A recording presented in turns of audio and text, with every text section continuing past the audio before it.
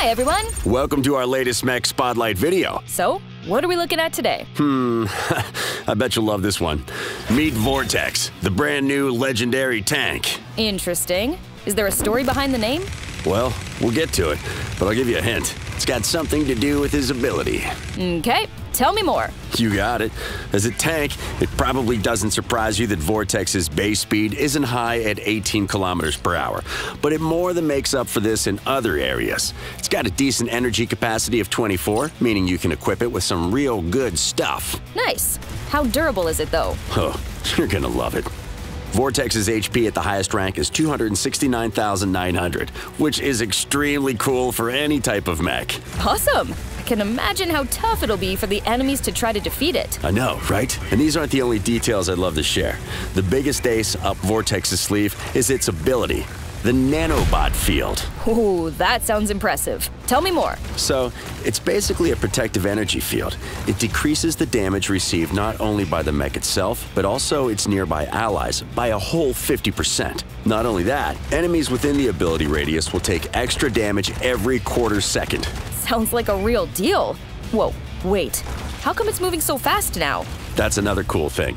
While the nanobot field is active, Vortex moves twice as fast, making its total speed equal to 36 kilometers per hour. You don't say. That makes it stand out from a lot of different mechs. Exactly. Not cumbersome at all now, huh? So, for such a well rounded mech, which weapons work best? I'd say Vortex is quite versatile, so you can try all kinds of firepower. However, I'd go with close quarters weapons to start with. Since you want to be in its ability radius anyway, arc torrents, ember guns, and fragment guns are perfect.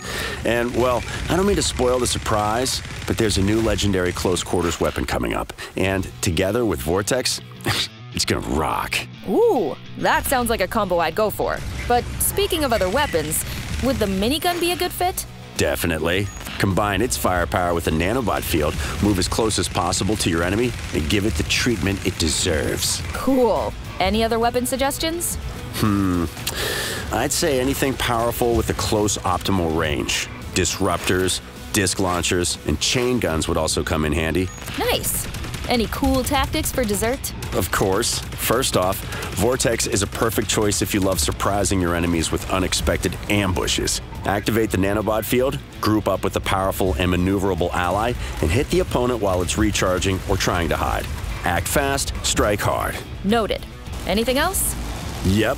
Since Vortex is a tank, your allies would expect you to be the first one moving towards the enemy.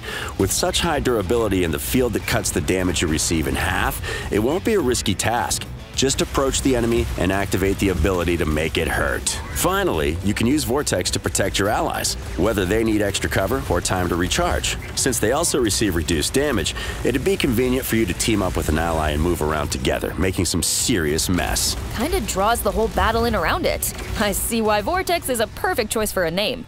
Wow, I can't wait to try it out. No time like the present. Let's hit the arena. Okay then. Thank you all for watching.